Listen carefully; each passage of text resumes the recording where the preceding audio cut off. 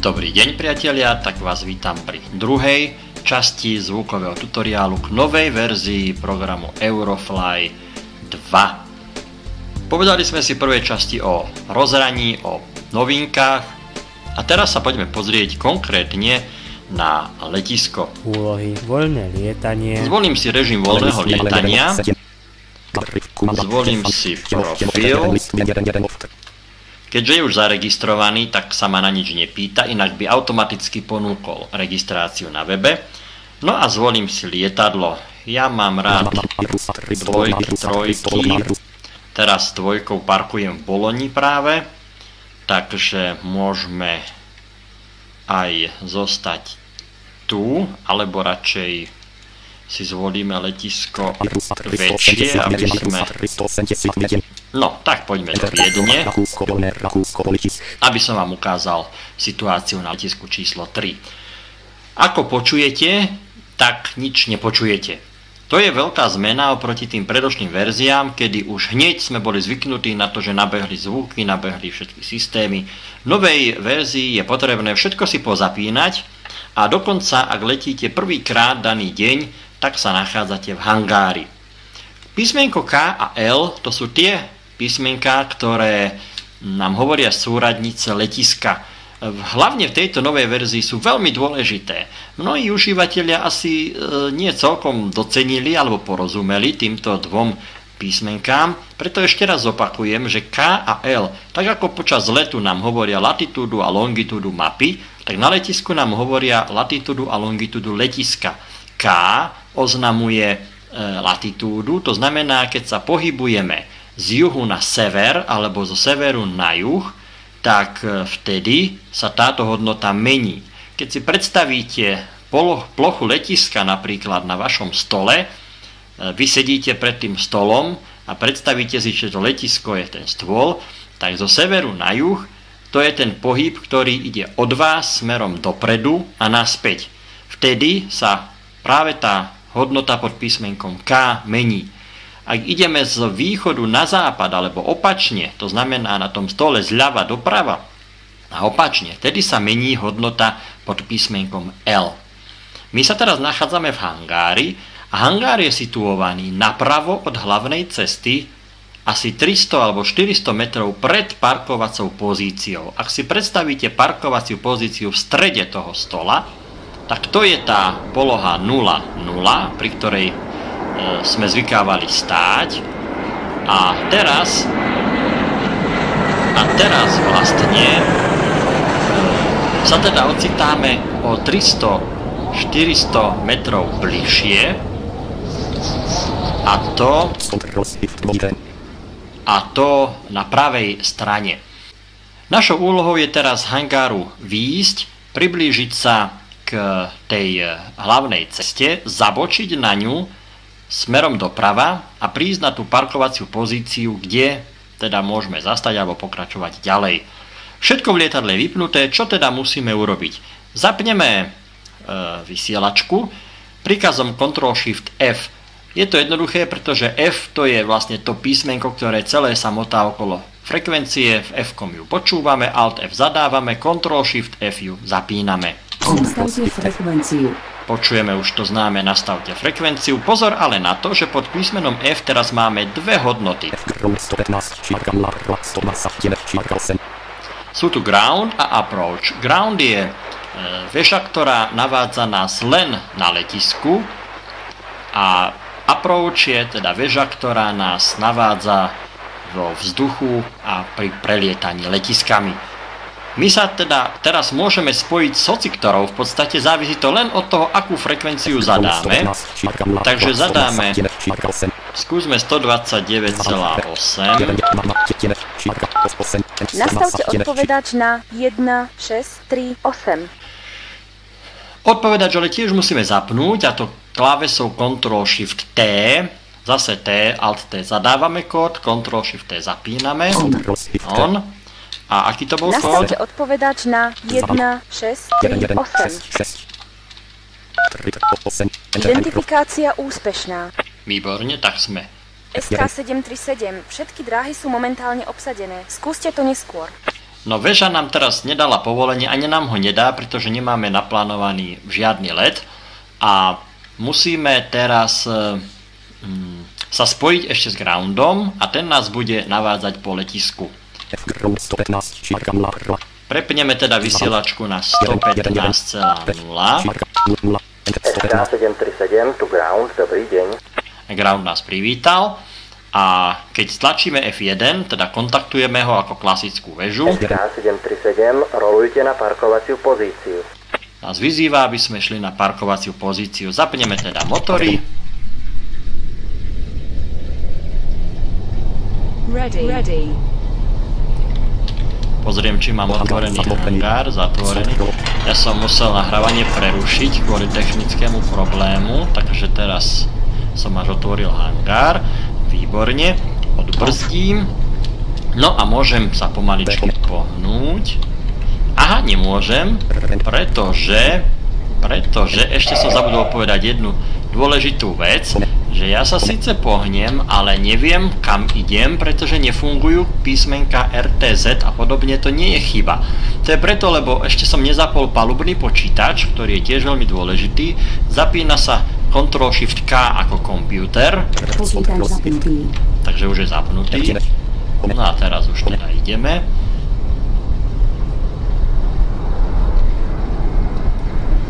Ja by som asi mohol klávesnicu, teda odozvu klávesnice vypnúť v čase. Aj keď tejto chvíli rýchlo neviem ako.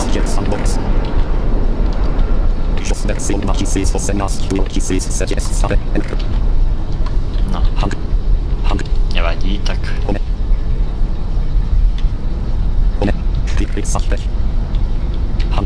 L mi stále oznamuje, že som v hangári. Ten hangár je dosť veľký, takže sa nezlaknite. Ale už som vonku a teraz klávesou L, keďže idem na západ, to je dôležité, idem na západ, sledujem. Aká je moja pozícia? Stredová cesta sa nachádza medzi medzi 3000 a 3200. To vieme z minulých verzií. A dávam pozor, keď budem okolo 3400, budem spomalovať, pretože je tam vlastne kryžovatka. Ja budem vstupovať na hlavnú cestu a tá nemusí byť vždy voľná. Pozor na to. Takže už spomalujem. SK737, dráha je voľná, môžete rolovať na parkovaciu pozíciu. Aha, ale je voľná, takže môžem ísť. E, budeme počuť aj práve tento zvuk. Chvíľu sa tu zastavíme. Mm, Tento zvuk, klasický, e, znamená, že dráha pristávacia, na ktorú ideme vstúpiť, je voľná.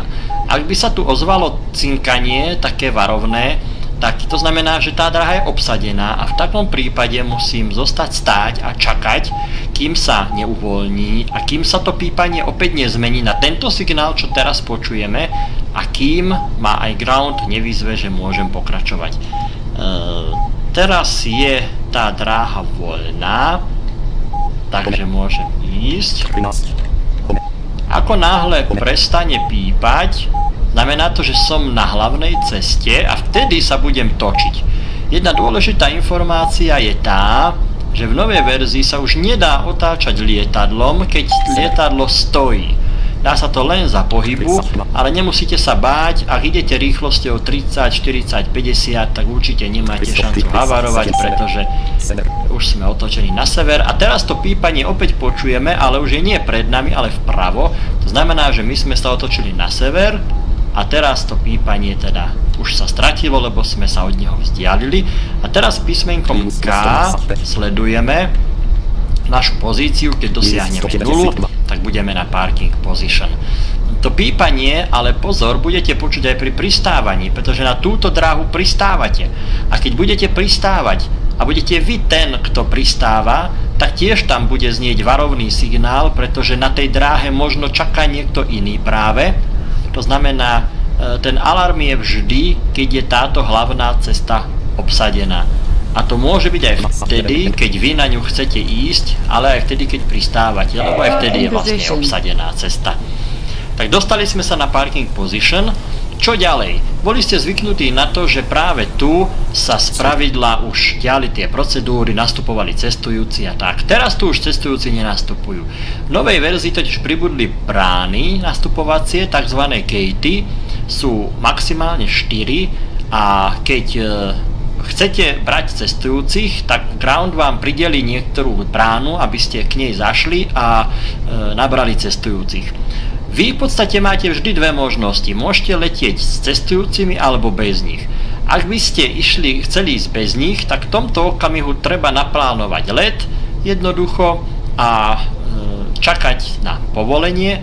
Ak chcete brať cestujúcich, tak klávesou Ctrl 2 V ja vlastne poviem, že chcem brať cestujúcich. Teda ja to Ctrl 2 V síce stlačím, ale e, oni nezačnú nastupovať ako predtým. SK737, rolujte na gate 4. Ozval sa iba pokyn, ktorý mi hovorí, že mám rolovať na gate 4, pretože tam čakajú cestujúci na môj let. Ja môžem vám teraz ukázať aj to, ako sa plánuje let. Let po novom už totižto e, sa dá plánovať troška lepšie ako predtým. Navigačný systém totiž je rozšírený a už sa do navigačného systému dá zadať aj viac cieľov, nie iba jeden. To znamená, že vyvolám si klasický Ctrl Shift 8, zoznam letísk a keď si dám napríklad Bratislava, tak po stlačení medzerníka nebude automaticky to E, ten zoznam zatvorený, pretože to letisko sa Bratislava iba pridalo. Ja môžem pridať aj ďalšie, to znamená môžem dať Bratislavu, čo ja viem, Budapešť a ja neviem, dajme tomu, dajme tomu Rumunsko nejaké, Bukurešť, tak.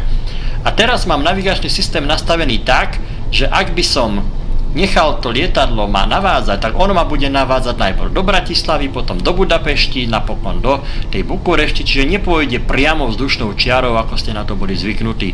Keď som to plánovanie skončil, tak jednoducho escapeom zavriem ten zoznam. No, a teraz som stlačil klávesu tabulátor a aby som sa pozrel do palubného počítača. Palubný počítač totiž to je ten, ktorý sme zapínali tou klávesou Ctrl Shift K. On nám zobrazuje viacero zaujímavých informácií. Prvá informácia, e, teda on zobrazuje panely e, a tie panely e, sa medzi nimi vlastne pohybujeme klávesou tabulátor. Teraz ja som stlačil tabulátor a ocitol som sa v navigačnom systéme a tu vidím, čo mám v tej navigácii zadané. Mám tu ako prvé Bratislavu, potom tu mám Budapeš, 173 km. Pozor na to, že tie vzdialenosti sú odstupňované jeden bod od druhého. To je teda 173 nie je teraz Viedne, ale od Bratislavy a potom Bukurešť 620 od Bratislavy zase, hej? A spolu 850. Eh, keď samozrejme by som stlačil delete, môžem niektorú tú položku aj vymazať, alebo keď by som si zase zobrazil tie zoznamy letísk, tak môžem niektorý ďalší pridať. Ďalší tabulátor, teraz som sa prepol do letového plánu a tu vidím, aké lety sú v tomto letisku teraz naplánované. Takže o 17.46 letí lietadlo do Linca. 47 SK737 Bukurešť, to je náš let.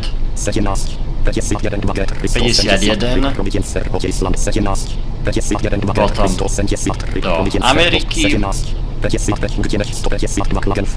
do Klagenfurtu. No vidíte, že je to viedenie veľké letisko, takže je tu tých letov viac. No a keď dám tabulátor, ďalší, tak som sa ocitol na záložke na paneli premávky a to je veľmi zaujímavý panel, pretože nám poskytuje informácie o tom, aká je premávka na tomto letisku a v spoločnosti Eurofly a to prosím pekne na základe reálnych údajov.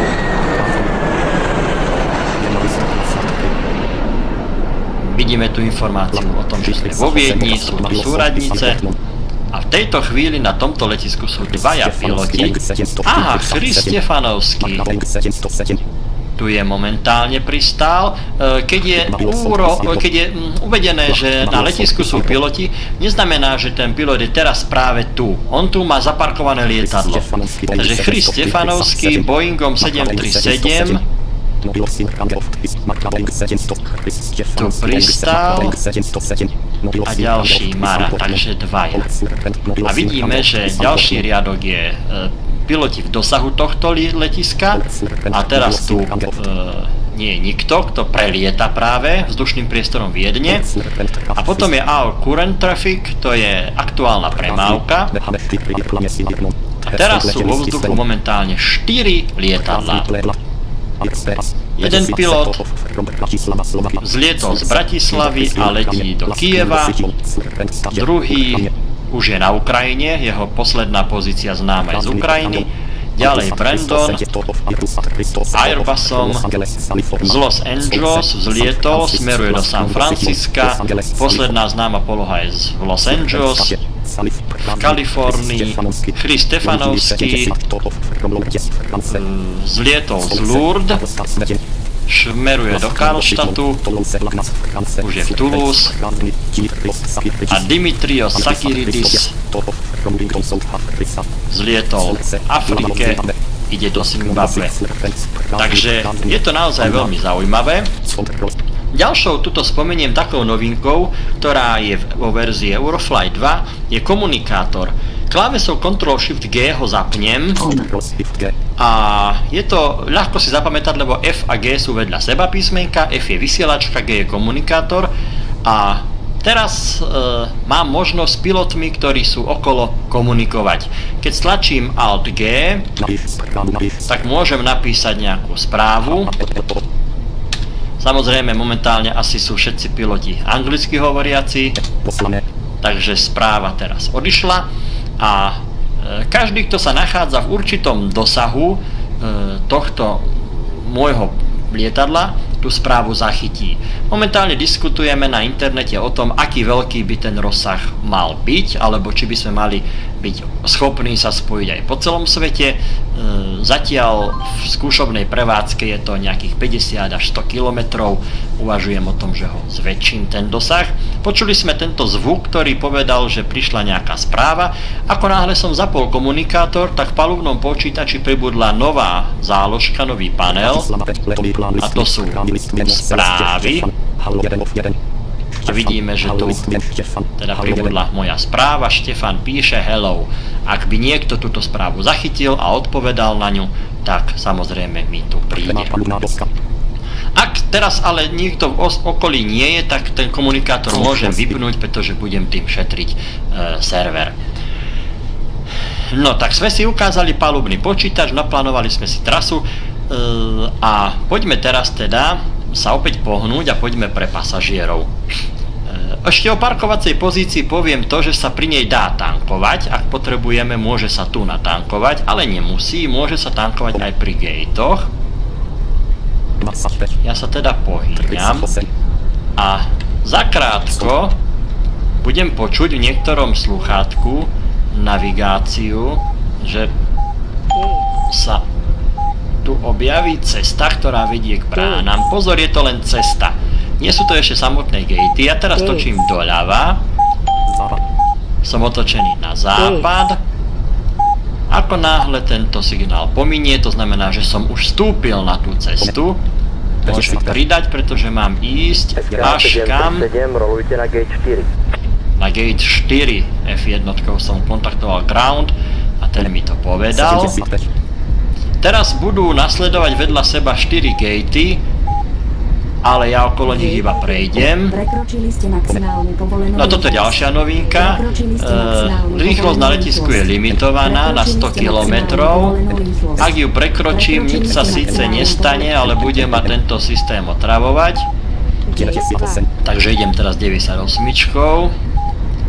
po cestujúcich.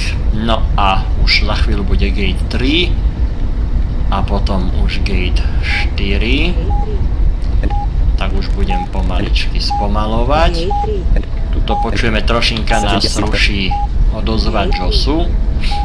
Ja som preinštaloval JOS pred pár dňami, nainštaloval som verziu 2018, takže ešte ju nemám úplne vyladenú, spomalujem a za chvíľočku prídem ku gateu 4, pri ktorom musím iba zastať. Takže zastanem. SK737, rolujte na dráhu A2. E, ground už mi pridelil dráhu. Ja samozrejme ale nepôjdem teraz na dráhu, lebo musím zjať cestujúcich. A ešte by bolo dobre aj natankovať. Takže musím vypnúť motory a spustím tankovanie. Zatiaľ môžem povedať aj ďalšiu novinku, ktorá je tá, že môžem po novom zatvoriť dvere na kokpite, ak by ma e, hluk cestujúcich vyrušoval. Zatvorím dvere a nebudem počuť, čo sa deje v tej kabíne. E, pokúsim sa medzi tým, kým oni nastupujú, vypnúť odozvu JOSu. Mám anglický JOS a teraz v tejto chvíli rýchlo neviem ako.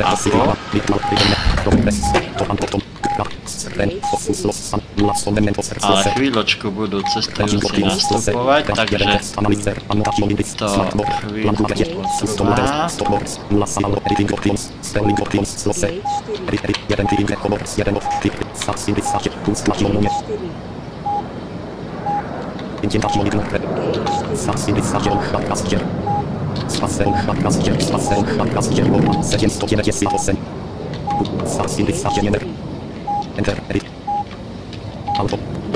Hm, tak to nebolo to, čo som chcel.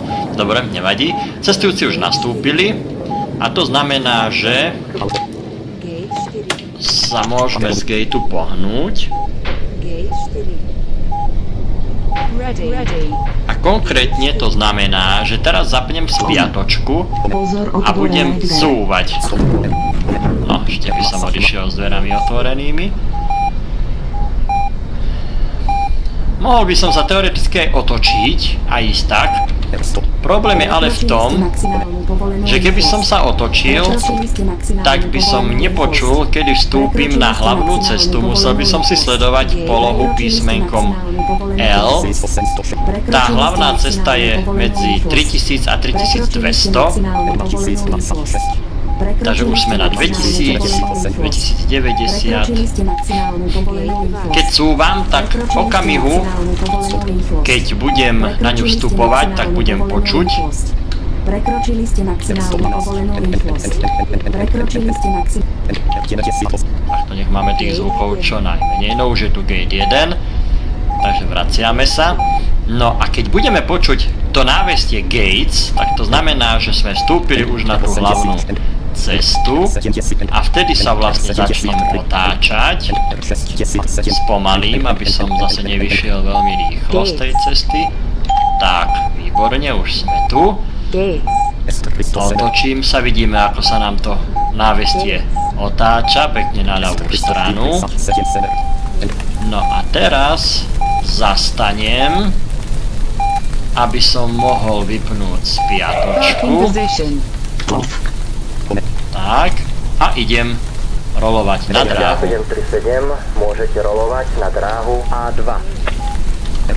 Je výborné, že sme dostali dráhu A2, pretože s tým súvisí aj ďalšia novinka, a to je tá, e, že na letisku tretej kategórie už nevychádzajú všetky dráhy z hlavnej cesty. E, na letisku druhej kategórie. Áno, tam je to tak ako predtým, ale na novom letisku už je to tak, teda na trojke, takto, už je to tak, že z hlavnej cesty vychádzajú dráhy 1, 2, 3 a potom iba cesty A a B. To znamená, ak mám dráhu A2, tak tá sa bude nachádzať pri ceste A Ačkovej, takže musíme si nájsť cestu A, zabočiť na ňu, a až tam na nej si potom nájsť tú dráhu A2. Takže už je tu dvojka O chvíľočku bude trojka. A potom Ačko. Opäť budeme zatáčať na ňu počas jazdy.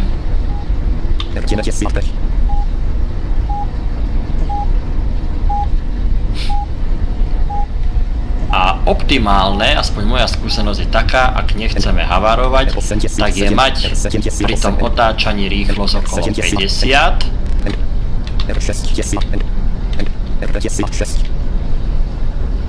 Môžete si všimnúť, že... Aha. Už je tu Ačko. Na pravej strane sa ozvalo, takže sa točím doprava, pôjdem vlastne na východ. Okamihu, keď tá, to návestie zamokne, tak to znamená, že už som na tej ceste. Hej, tento systém platí vždy a vždy aj platil aj pri ramvejach, že kým sa ozýva to návestie, tak som na jednej ceste, už keď zamolkne, tak som na druhej. Ak by som na, to, na tú dráhu netrafil, tak by sa ozval na haváriu. No, teraz máme A1, o chvíľku bude A2 a znova to bude to isté, čo predtým, že keď zatočím na A2, tak to pípanie stíchne.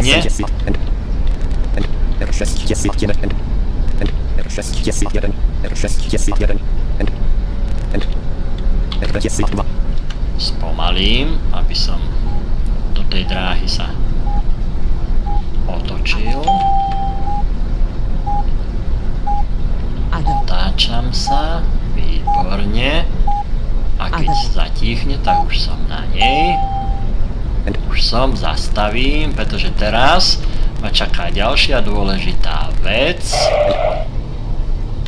SK737, kontaktujte väžu a žiadajte povolenie na štart. Prajeme vám pekný a šťastný let. SK737, kontaktujte väžu a žiadajte povolenie na štart. Prajeme Tak vám ground sa s nami lúči. To je od neho veľmi milé, takže my sa teraz musíme preladiť na väžu. Takže 129,8.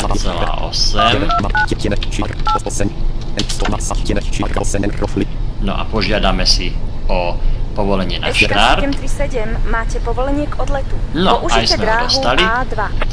Skôr ako teda vzlietneme, ešte poviem ďalšie dôležité veci. E, procedúra vzlietania sa troška zmenila tiež, povedal by som, že vylepšila. Môžete vzlietať aj po starom, to znamená len pridržaním klávesy End a Home, ale je možný aj nový spôsob. Pribudli tri nové klávesy a to je Alt Home a Alt N a Delete. Alt Home je klávesa, ktorá mm, sa rovná, tak povediať, stlačeniu plynového pedála na doraz, to znamená úplne rýchlosť na maximum, túrovanie motorov. A v- keď tedy, keď stlačíte Alt Home, tak hlavne zvukovo sa to prejaví. Myslím, že veľmi pekný efekt budete počuť, ale dôležité je to, že tá rýchlosť bude stúpať sama až na maximum. Ale to je nie žiaduce, pretože my potrebujeme dosiahnuť iba vzletovú rýchlosť, preto tú vzletovú rýchlosť musíme poznať, musíme ju sledovať a keď budeme na nej, tak to e, stúpanie rýchlosti musíme zastaviť klávesou Delete, hej, aby ona teda nestúpala ďalej. Takto isto funguje potom aj brzdenie, kedykoľvek Alt Endom, vlastne to je stlačenie brzdy úplne na podlahu, to znamená, že rýchlosť klesá až na nulu a vo chvíli, keď ja chcem, aby to klesanie sa zastavilo, tak vlastne stlačím delete. Takže aktivujeme klapky.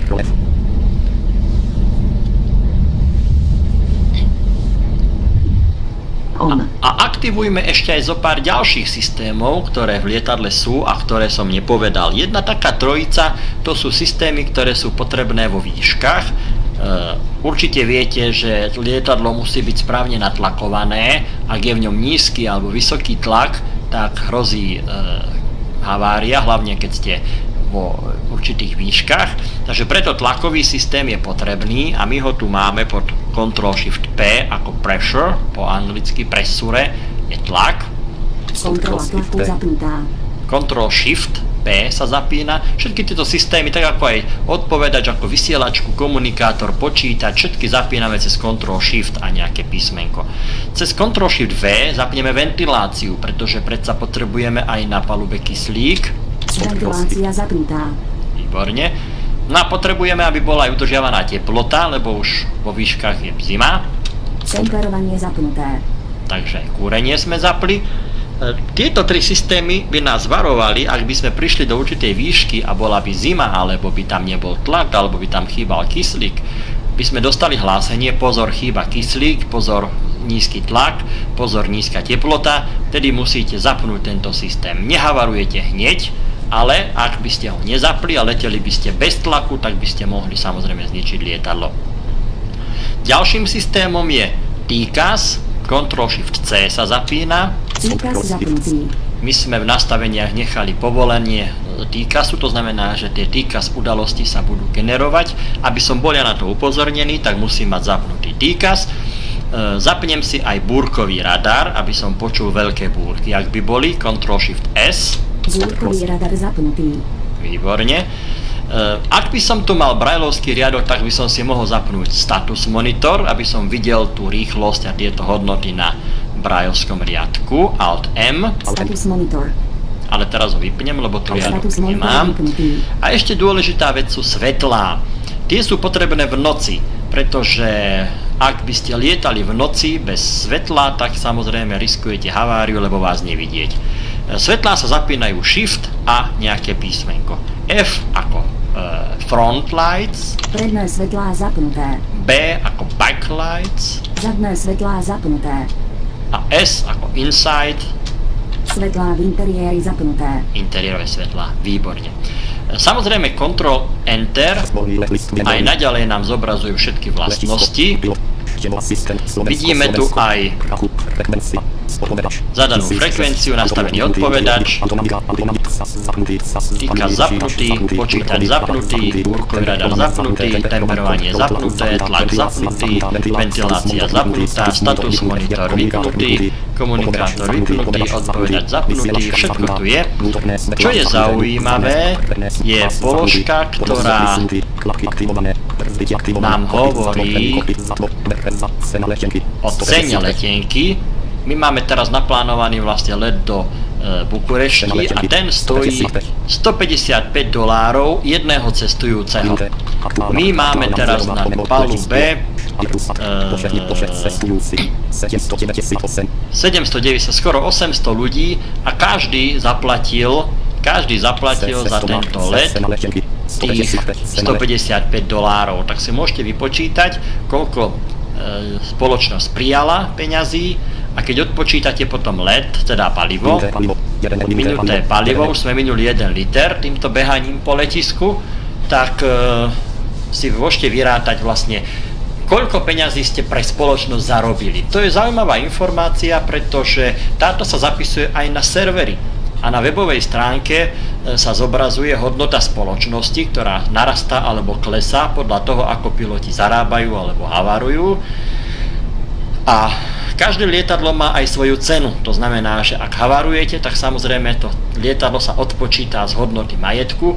No a teraz v čase testovania beta verzie, kedy sa noví piloti, teda piloti učia tento nový systém, tak musím povedať, že sme hlboko, hlboko v mínuse a obávam sa, že spoločnosť bude musieť získať nejakú veľmi dobrú dotáciu od vlád rôznych e, národov, aby teda neskrachovala, ale verím, že neskrachuje.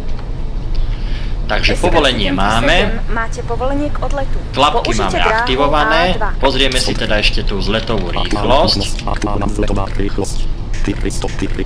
404 km. Dôležité ešte je jedno. Keď sa pohnem, mo- nos môžem dvíhať až keď dosiahnem túto vzletovú rýchlosť 404 km, skôr nie. A keď zlietnem a zasuniem podvozok, tak moja rýchlosť ešte stúpne.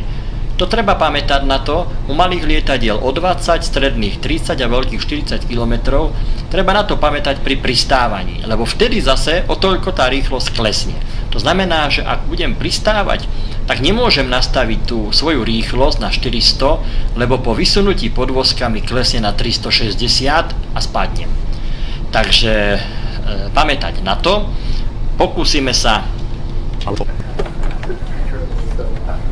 máme tu, máme tu cestujúcich, všetko je v poriadku.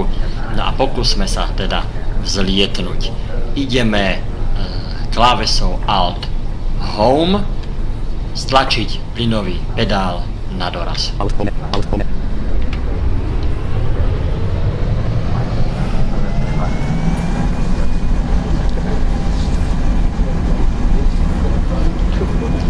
Sledujeme si rýchlosť.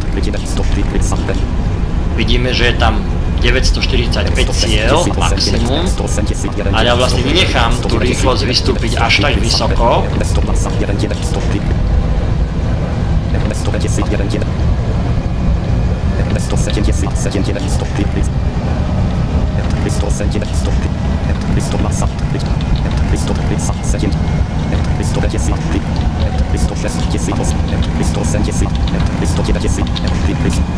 Štyristo.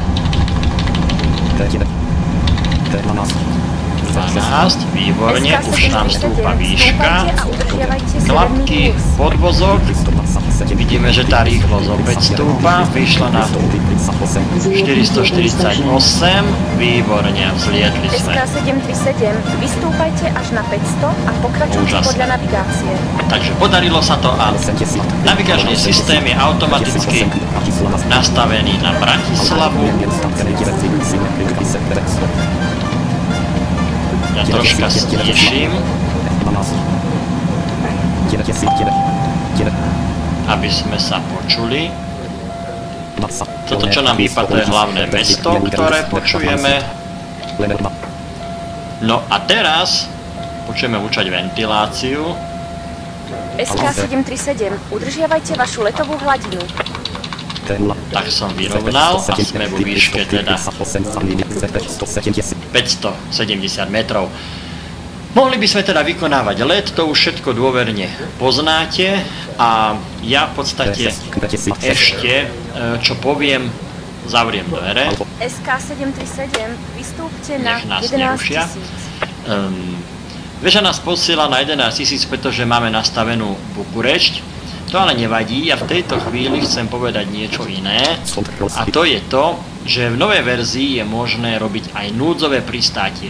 Pri klasickom pristávaní sa nič nezmenilo, takže SK737, to klasické pristávanie teraz 11 000. nebudem predvádzať, ale chcem vám ukázať, ako možno pristať núdzovo.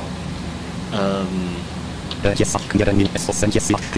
letíme vo výške 570. Dajme tomu, že sa niečo stalo, že napríklad nemám palivo, alebo sa objaví 11 nejaká 000. nečakaná udalosť a ja potrebujem núdzovo pristáť. Urobím to tak, že sa pripravím na pristátie tak ako na akomkoľvek inom letisku. Rýchlosť v podstate máme, lebo sme nezrýchlili, ale klesneme. SK737, vystúpte na 11 000. Klesnem na 100 a to núdzové pristátie sa od klasického líši. Aha, a toto, čo teraz počujeme, vyrovnám, to je práve búrka. SK737, Autonavigácia. vystúpte na Vypnem 11 000. autonavigáciu, pretože tá by ma stále otáčala do smeru letu. Ale ja sa teraz musím otočiť. No a počujete, že tá búrka zmizla. Teraz keď sa otáčam doprava, SK737, vystúpte na 11 000. tak v určitom okamihu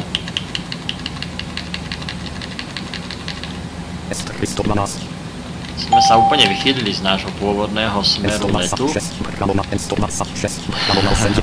Ale to vôbec nevadí, dôležité je, že sme sa vyhli búrke. SK737, A že teda ju obchádzame. vystúpte na 11 000. E, samozrejme, že obísť takúto veľkú búrku znamená prirodzene zmeniť trasu letu a tá obchádzka niekedy môže byť naozaj veľmi veľká, pretože samotná búrka môže mať priemer aj 50-60 km, plus keď prirátame nejaký ten čas, ktorý SK737, predtým ešte venujeme tomu, na 11 000. aby sme včas tú búrku zachytili a obišli ju, tak tam je ešte rezerva nejakých ďalších 30 km. No dobre, poďme teda pokračovať v núdzovom pristávaní. Klesám dolu. Táto väža sa ozýva veľmi často. Ten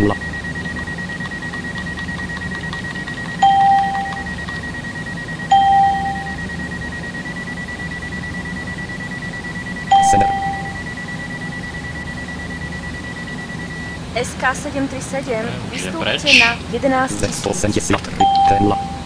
Ja som sa otáčal k tej búrke predtým, pretože som chcel vám ukázať to rozhranie, že ako je vlastne možné. No tak sme vo výške v podstate nízkej, 76. No a čo je teraz dôležité, to núdzové pristátie urobíme tak, že vlastne nastavíme núdzovú frekvenciu. A tá je 121,5. Takže 121,5 nastavím a v okamihu, keď to urobím, tak písmenko F mi už nehlási číslo, ale mi hlási SOS. To znamená, že som vlastne vyslal signál o núdzové pristátie a teraz je ten správny čas, kedy môžem teda pristáť. Nie je tu samozrejme žiadna väža, nemám ma kto nejako navigovať, takže jediné čo spravím je, že vysuniem podvozok klapky, ako vždy. On.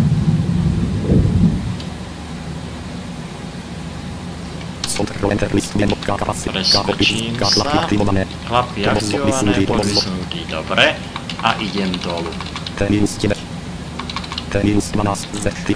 Dúfajme, že sa to podarí, pretože samozrejme je to vždy riskantná situácia, ale podarilo sa. Pristátie je úspešné a my sme úspešne pristáli.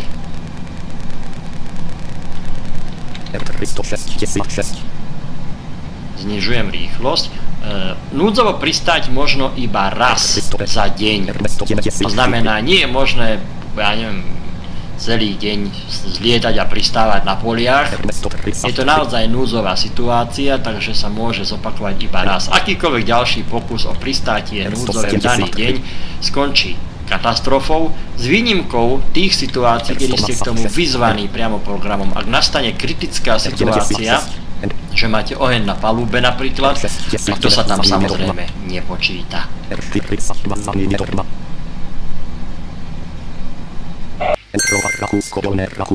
No, a čo sa teraz stalo? Počuli ste ten zvuk zastavenia, my sme zastavili a v tejto chvíli sme automaticky už premiestnení na nejaké najbližšie letisko.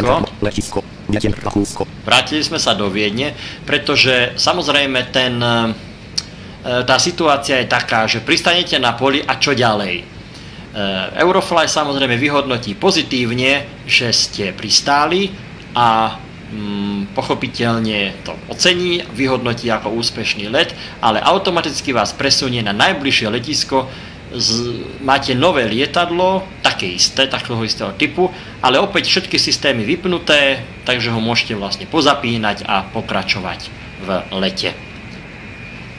Keď stlačím klávesu F4, Ak chcete skončiť, stlačte Enter. toto je tiež novinka, ktorá pribudla, že už teda som vyzvaný k tomu, aby som potvrdil svoju vôľu e, skončiť. Chcete o Eurofly. Takže som stlačil Enter a Koniec. môžem program vypnúť. E, Čo je ešte zaujímavé je to, že informácie môžete vidieť aj na webovej stránke. Keď otvorím internet a konkrétne stránku zatiaľ www.eurofly.stefankiš.sk lomeno test.php, to je dôležité.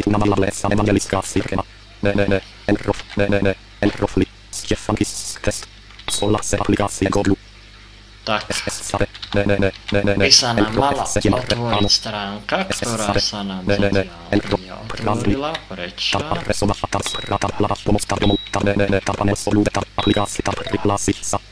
Že by som niečo napísal zle.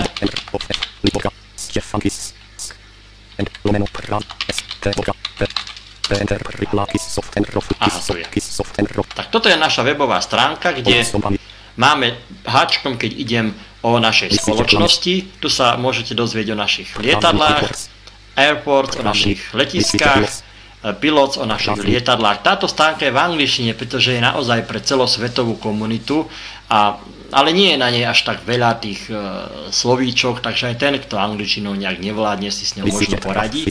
Čo je zaujímavé, je napríklad naša premávka, Momentálne máme vo vzduchu 6 lietadiel, je tu odkaz MOR, takže sa hnaď dáme. A teraz zase písmenkom H si nájdeme informácie o našej premávke. Máme tu 6 lietadiel, vidíme, že jeden užívateľ ide z Bratislavy do Kieva, toho sme už videli, už je na Ukrajine. Ďalší pilot James Howard, Kristof Hrinkievič, Nikolás a potom je tu ďalší nadpis Posledné lety. A tu vidíme aj lety, ktoré sa uskutočnili za posledné 3 dni. Hneď na prvom mieste je Štefan, Airbus 380 so 798 pasažiermi, zlietol z Viedne o 18.07, pristal s kódom SOS. Predo mnou letel Kostas Teoduropoulos, tiež z Bratislavy, ale stratilo sa z radaru. Takže aj takéto informácie môžete vidieť. Vidíte, že tých noviniek naozaj veľmi, veľmi veľa a verím, že vám aj nový Eurofly prinesie radosť a potešenie. Prajem vám veľa pekných chvíľ a samozrejme veľa šťastných kilometrov, certifikátov a odmien.